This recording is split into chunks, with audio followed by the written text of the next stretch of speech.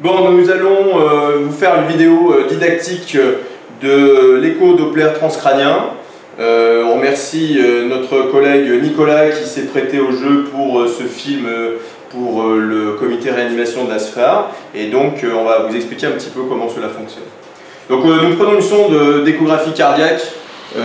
alors ici, nous travaillons au CHU à Dijon avec la sonde S501 de chez Philips mais nous n'avons euh, pas de conflit d'intérêt ou de lien d'intérêt avec cette société. On peut utiliser toute sonde cardiaque euh, possible. Ensuite, euh, nous utilisons les réglages sur l'échographe. Nous utiliserons les presets Doppler, Doppler transcranien optime que nous avons pré-réglé chez ce fabricant, mais en fait chaque fabricant produit des presets, des réglages pour l'utilisation du Doppler transcranien.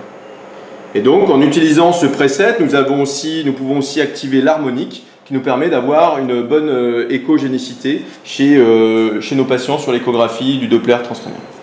Donc la sonde, avec le gel bien sûr, pour faire l'interface. Euh, nous, nous avons sur notre sonde un repère. Le repère de la sonde va représenter le point P sur l'échographe et va représenter la partie antérieure de notre patient. Donc, pour vous situer, nous allons avoir au niveau de l'écran, partie antérieure avec, imaginez les yeux en antérieur, la partie ici, la sonde avec l'échographie Doppler, et la partie postérieure sur votre droite qui représente l'occiput. Et imaginez euh, la moelle, le tronc cérébral euh, face à nous ou derrière nous, comme ça vous avez une image d'ensemble. Donc pour euh, faire l'échographie, l'écho Doppler transcranien.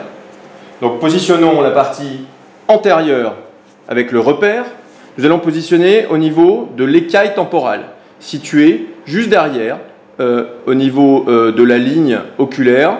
Vous allez vous situer sur l'écaille temporale, la partie la plus fine au niveau de la boîte crânienne. Donc nous positionnons notre sonde avec le repère en partie antérieure. Ici, nous réglons une profondeur à 16 cm pour voir si nous avons une fenêtre osseuse contralatérale. Nous voyons ici la tablette osseuse contralatérale. Donc nous sommes sur notre patient à droite. Donc on aperçoit la tablette osseuse contralatérale gauche.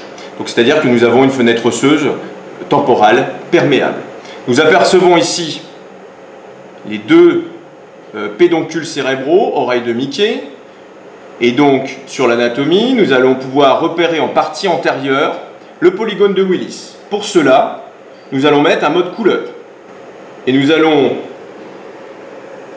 repérer l'artère la seule artère qui vient vers la sonde, donc en partie, voilà, cette sonde qui est positionnée ici, la sonde d'échographie, la seule artère qui vient vers nous, avec un flux positif, donc un flux rouge, est l'artère sylvienne, l'artère cérébrale moyenne. Et donc nous allons diminuer notre profondeur, nous mettre à 10 cm pour zoomer, essayer d'avoir le moins d'alésine possible et faire un tir Doppler pulsé nous pouvons rajouter une correction de l'angle.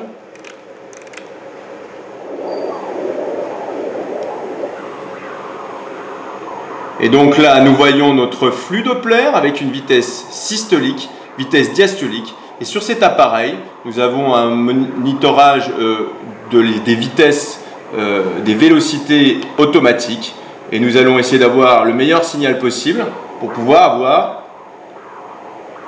un calcul de ces vitesses. Une fois que nous avons ces vitesses, nous, nous frisons et nous avons une vitesse systolique à 123 cm par seconde, une vitesse diastolique, télédiastolique à 39,3 cm par seconde et une vitesse moyenne à 65,8 cm par seconde, ainsi que l'index de pulsatilité symbolisé par IP à 1,28. Donc nous avons un Doppler transcranien strictement normal. Donc nous allons maintenant faire le côté controlatéral. Nous revenons à une profondeur de 16 cm pour voir si la tablette osseuse contralatérale est perméable, ce qui devrait être le cas. Et nous passons, nous nous mettons exactement au même endroit, au niveau de l'écaille temporale, pour aller repérer notre artère sylvienne, juste au-dessus de la base du crâne. Une chose importante, c'est de bien s'installer pour faire le Doppler transcrânien, essayer de ne pas bouger pour être le plus précis possible, parce que certaines fois, les conditions hémodynamiques euh, systémiques du patient et cérébrales euh, rendent la réalisation difficile. Donc nous repérons, notre sonde est du côté gauche du patient, elle est ici. la partie antérieure est repérée par le petit p, par le repère sur la sonde, la tablette osseuse contralatérale, donc nous avons une écaille temporale perméable, les ultrasons peuvent traverser. Nous apercevons ici les pédoncules cérébraux, oreilles de Mickey, la faux du cerveau en antérieur, et donc nous devrions avoir le polygone de Willis qui va euh, se déployer euh, juste en antérieur. Donc en mettant le mode couleur, nous apercevons l'ensemble du polygone de Willis. Alors chez euh, notre collègue, son polygone est il, a une bonne écogénicité, donc on peut repérer la partie antérieure du polygone de Willis, donc la cérébrale antérieure communicante antérieure.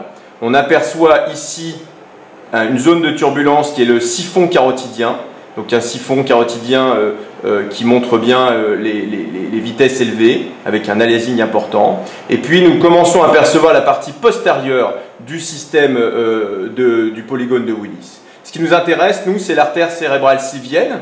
Donc nous zoomons, comme tout à l'heure de l'autre côté. Et ce qui nous intéresse, c'est cette partie ici, à 5 cm, euh, sur l'artère sylvienne, avant la bifurcation et, euh, du segment M2. Donc à cet endroit-là, nous faisons la même chose, PW, Doppler pulsé, éventuelle correction de l'angle, et pour mesurer les vitesses systoliques et diastoliques, ainsi que moyenne et index de pulsatilité. Et nous avons un Doppler qui est symétrique avec une vitesse systolique à 107 cm par seconde, une diastole à 39,2 cm par seconde et un index de pulsatilité à 1,09. Donc vous pouvez voir ici ce, que je vous disais tout à l'heure, la mesure au niveau de l'artère cérébrale moyenne doit se faire avant la bifurcation et elle se fait entre 4,5 et 5,5 cm, retenez 5 cm de profondeur. Donc artère sylvienne, un flux positif vers la sonde et à 5 cm le tir Doppler pour avoir euh, cette courbe d'écho Doppler transcranien. Merci à vous.